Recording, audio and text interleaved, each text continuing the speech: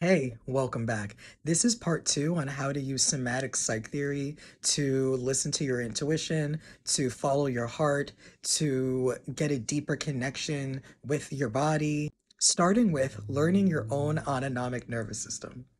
Please check out part one or the rest of this video is not going to make that much sense. So in the last video, I covered an overview of the first part of your autonomic nervous system, your sympathetic nervous system, aka your fight flight. So your sympathetic nervous system is not supposed to be up and running on high alert 24 7. Your brain literally cannot be in that hyper alert fight flight state for too long. And this is where the autonomic nervous system steps in through the parasympathetic nervous system. This is what brings you back down from high alert. And there's two pathways in the parasympathetic nervous system. Both parasympathetic pathways live on the vagus nerve. And when the vagus nerve is activated, you are able to be brought down from that high alert fight flight state. The vagus nerve starts at the base of your neck here and it stretches down to your lungs, heart, stomach, and diaphragm, and it stretches up to the throat, the ears, and the eyes.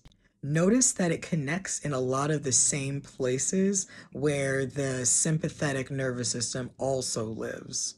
That's what makes it easier for it to bring you back down from high alert because it's sending and receiving messages from the same locations.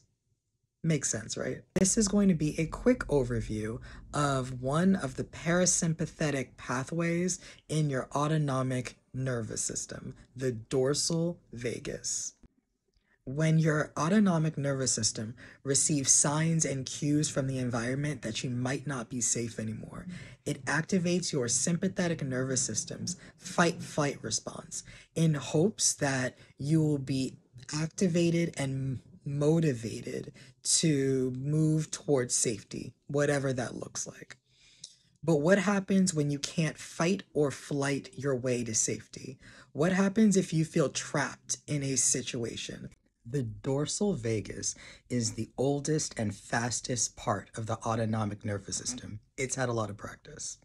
The dorsal vagus is usually activated when your autonomic nervous system receives signs and cues that not only is it in danger, but it's trapped.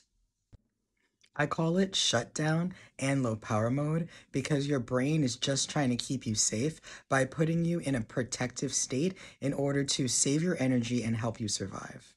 The dorsal vagus can activate so quickly that by the time you realize that something triggering might have happened, your dorsal vagus has already stepped in to protect you.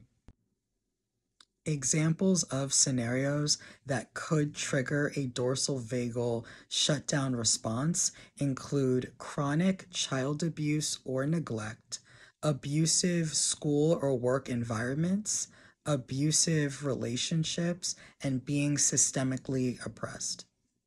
So, dorsal vagal shutdown can manifest as symptoms of depression, being in autopilot, emotionally shutting down in an argument, uh, feeling numb or not feeling anything at all, and dissociation.